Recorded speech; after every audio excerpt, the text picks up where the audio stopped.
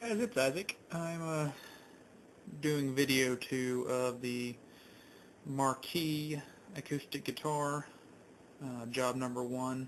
This will be video two of job number one. Um, let me show you the guitar. Um, over here I have uh, what I'm calling my magic bag of cleaning stuff. Um, anyway. Another thing I didn't mention in the first video is that feeling around here inside this, um, it feels just a little dry. And I'll, I'll probably rig up a little uh, humidifying thing. So, because one of the uh, things that damages guitars is low humidity. It does more damage than pretty much anything else. Um, so, fretboard is really rather dry. So, um, I'm going to attempt to find some linseed oil as recommended by several people, including Davey4557. Um, if not, I have some uh, lemon oil product that I will use. Um, see what else. Um, uh, well, I guess uh, let's get started on the string removal and the cleaning. Alright, so for the string removal I have here one of the ubiquitous string winder slash unwinder things. This is a Planet Waves brand. It's, it's pretty neato but hard to do with just one hand to show you. Um, it actually has a string cutter so that when you change strings you don't get the uh, the good old hangy strings like uh, what my mom used to cuss at me for leaving everywhere. And also this doesn't you know waste any of your other tools. And uh, definitely not your mom's shears which she will yell at you for. So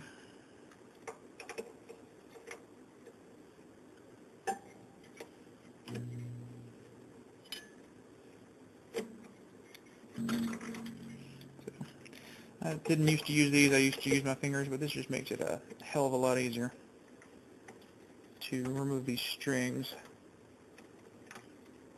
It's kind of hard to do, you know, one-handed. I'm trying to show uh, most of the steps of doing this, so bear with me. Okay, that one's good. Um, I'm going to go ahead and just uh, do the remaining five strings, and then I'll I'll do another, the next part of the clip will be where I'm removing the actual strings from the bridge and then removing these little guys. Um, speaking of nifty parts of this little guy right here, uh, it's hard to tell in this light with this crappy camera, but this little indentation here at the very end of this string winder is to actually remove these without having to use any sort of pliers. So, hold up. Another quick clip of these little guys. Um, this uh, G-string wind, or tuner, tuning pad. While unwinding it, it sounded like a dying um, mouse. So, and looking, it's really hard to see with this camera, but these are all insanely dirty, I mean, much like the rest of the guitar. Uh, going to see if this the B-string tuner does the same thing. Hmm. Hard to keep balance with this thing.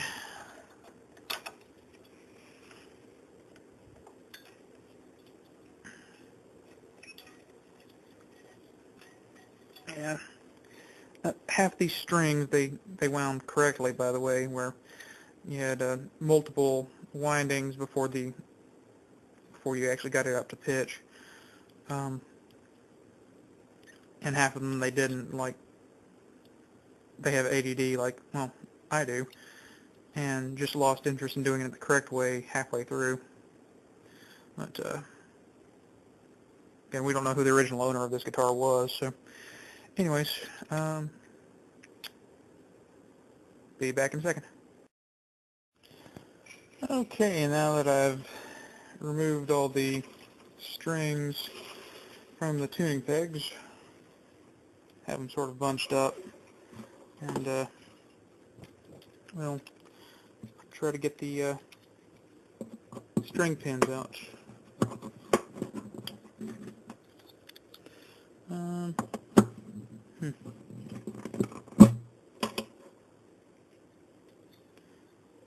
Seemed like a like it was going to be a slightly harder job considering the angle of these things.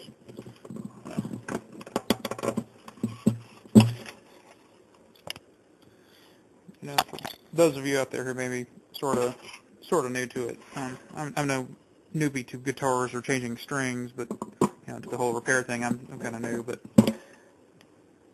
never try to remove these things um, under string tension.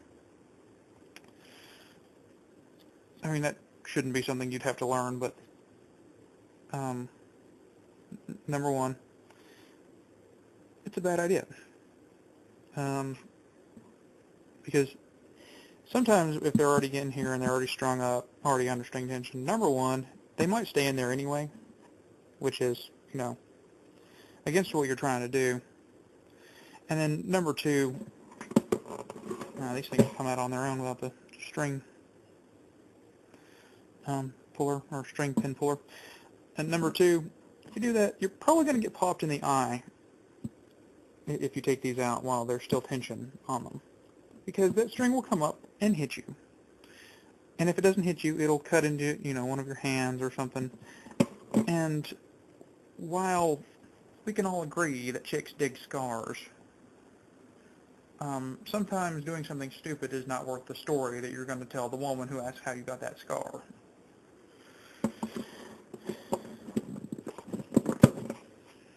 Alright, so strings are off. Um, it, real quick, I'm, I'm going to do a little something showing you how to get rid of all these strings. Um, at least a safe way that's not going to cause a whole lot of injury. Uh, right, be right back. Alright, here I have all the, the strings together. Um, so, I'm going to see if I can put this camera somewhere where I can do this with two hands. Um,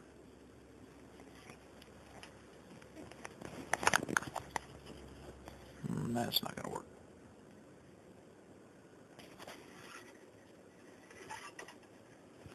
Well, hmm. A stand would definitely be useful in this case. Unfortunately, it's just a camera phone, so what can I really do?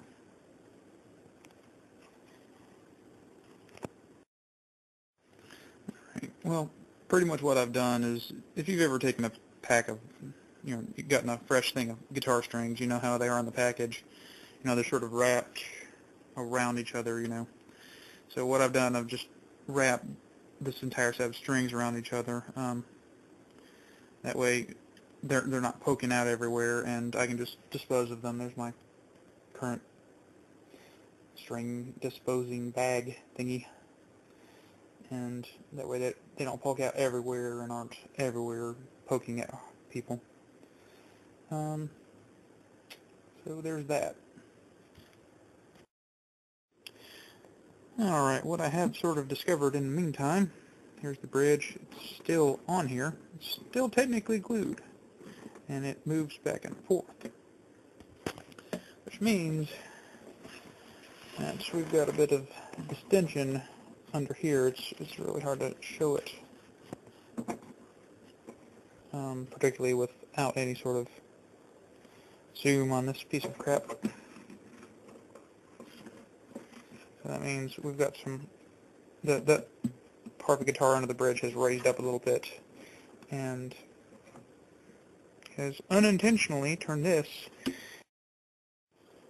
sorry, has unintentionally turned this into kind of an archtop guitar, which is, I, I kind of understand why it would do this because number one, it's it's too dry, and number two, um, it has sat in storage in crap conditions for some time.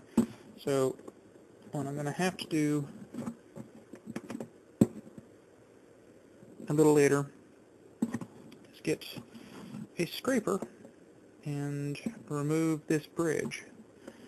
Um, I'm also going to have to get some form of steam to get under there to remove it because it is not technically attached. This looks like there.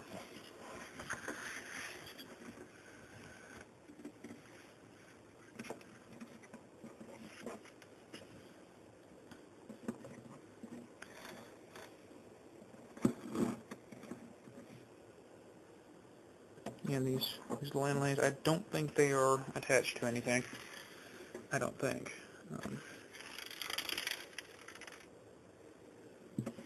so, what, uh, what I'm going to do next is uh, clean all of this, uh, mainly because it needs it. Um, the pick guard shows lots of scratches, which really isn't much concern to me. Um, yeah, this fretboard is not only dirty but dry. Um, a little bit of hump there where the fretboard meets the body, which is to be expected, especially with the string tension on. Um, and I suppose I should take this truss cover rod, truss rod cover off and see if the truss rod works. Um, so let's uh, let's get on that. All right, guys. So I got my inspection mirror and flashlight looking inside the guitar. Um, I don't know if you can see that real well. Uh, let me get this set up a little bit.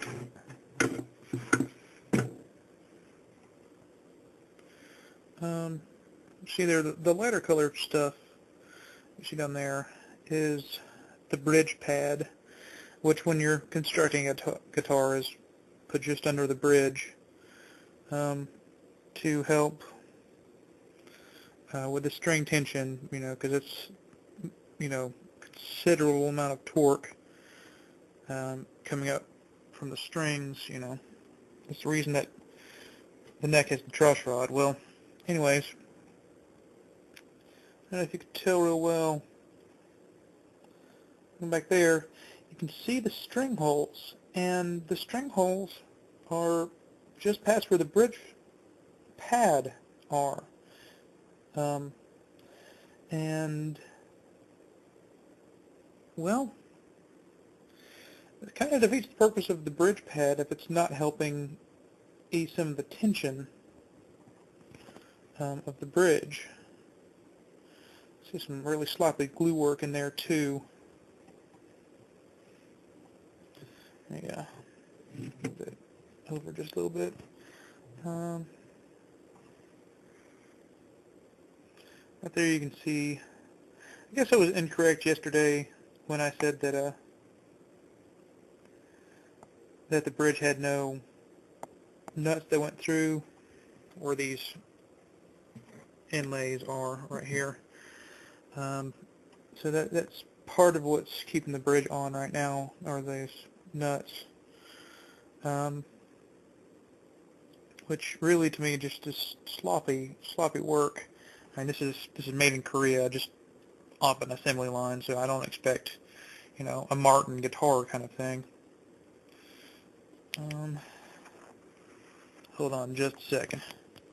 I'm going to take a look at the heel block in this guitar.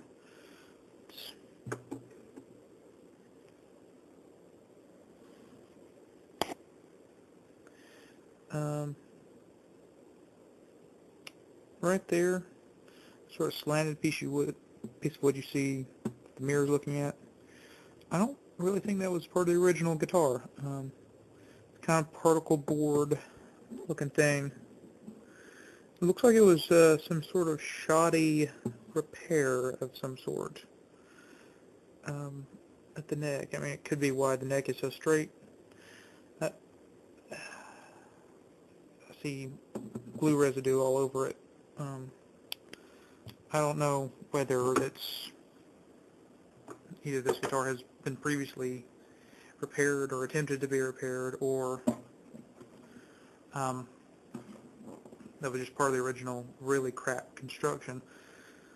So, anyways, that, that's that's all for examining the guitar really. Um, oh, uh, one one other thing.